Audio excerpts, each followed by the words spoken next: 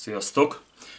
Ez a rövid kis videó azoknak szól, akik mostanában váltak szülővé, vagy mostanában fognak szülővé válni. A csecsemők közel 50%-át érinti a kólika nevezetű görcsös hasi fájdalom, vagyis a babák közel fele hasfájos lesz.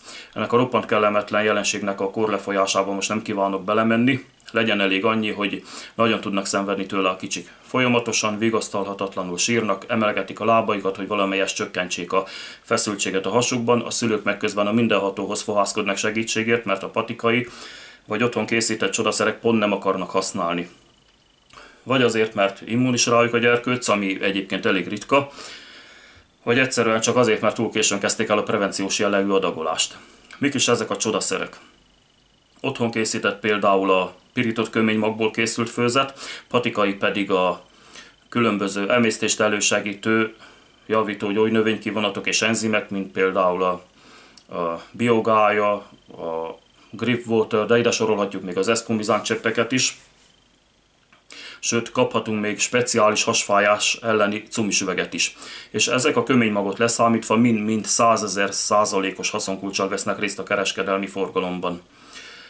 Én nem mondom, hogy ezek nem használnak, de tényleg csak megelőzési célzattal. A fogyasztói árba se szeretnék ö, belekötni, egyik termék esetében sem, hiszen a gyerekért mindent a vérünket is odaadnánk, és inkább látnánk magunkat százszor szenvedni, mint őt egyszer. De ha már megvan a hasfájás, akkor már ezek a cuccok nem segítenek, egyik sem, csak hosszú órák múltán. és hogy ne kelljen átélnie a gyerkőcnek ezt a hosszú órákon át tartó szenvedést, mindenképpen javaslom beszerezni ezt a kis kütyüt, így, ami úgy hívnak, hogy Wintube, magyarul szélcső.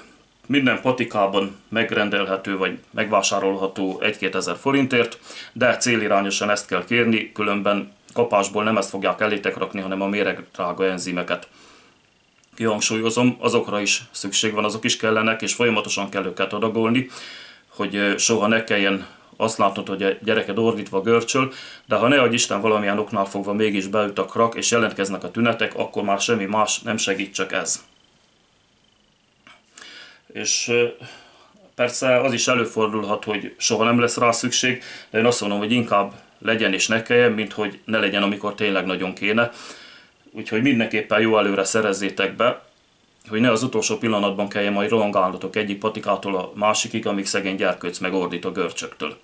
Na szóval, a használata. Hogyha látjuk, hogy a gyerek vigasztalhatatlanul sír, tapinthatóan feszül a hasa, emelgeti a lábait, akkor fogjuk ezt a kis kütyüt szépen, egyébként egy puha szilikongumiból van az egész, és babaolajjal bekenjük ezt a vékony részét. Ezután 2-3 cm mélyen finoman benyomjuk a baba végbelébe. Nem kell félni, hogy túltoljuk, vagy bármilyen kárt teszünk vele, ez lehetetlen, mert ez a kis szélesebb direkt kialakítás pont azért van, hogy ilyen probléma nem erüljön fel, és egyébként ez egyfajta távtartó szerepét is betölti. Miután bedugtuk, abban a pillanatban az összes felgyülemlett bélgáz némi béltartalommal és hanggal együtt távozni fog, a gyerek pedig szó szerint egy-két másodpercen belül megnyugszik, megkönnyebbül, mosolyogni kezd, majd mély álomba kerül. Úgyhogy ennyi volt az egész, hogy megszüntessük a problémákat. Még egyszer mondom, jó előre szerezzétek be, és mindenképpen tartsatok otthon egyet vésztartalékbe ebből a kis szélcsőből. Köszönöm a figyelmet, sziasztok!